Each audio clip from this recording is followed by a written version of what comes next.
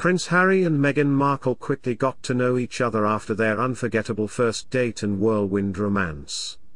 After a friend set him up, the couple set about finding out what they could about each other, and for Harry, that meant catching up with Meghan's acting career.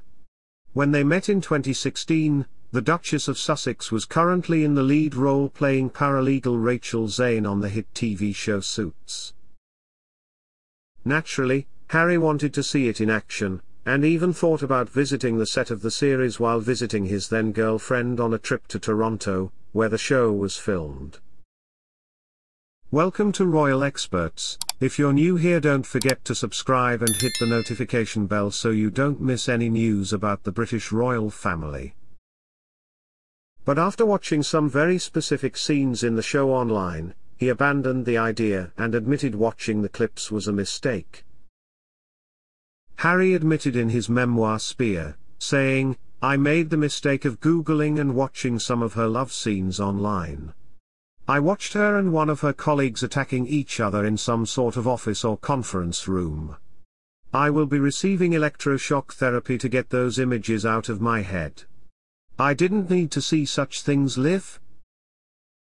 Rachel's love interest for Meghan's character on the show was Mike Ross, played by Patrick J. Adams.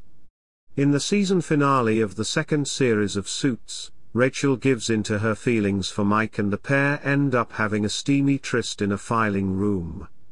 Meghan previously spoke about filming sex scenes with Patrick in 2017. The two revealed that one of the strangest moments in the show for her was the scene in which her character Rachel finally gives in to her attraction to Mike. When asked what she thought was her standout embarrassing scene on the show, Meghan revealed that it was the now iconic filing room that stood out in her mind. Asked first, Patrick said, the sex in the file room was weird. Yeah, it was a little weird. Meghan said, of course it was strange. Meanwhile, last month, Suits creator Aaron Korsh revealed details from the set of the series, including how the royal family refused to let Meghan say the word poppycock on set, which he found disturbing. The creator noted that Harry also wrote about the banned word in his memoir Spare, which was released in January of this year.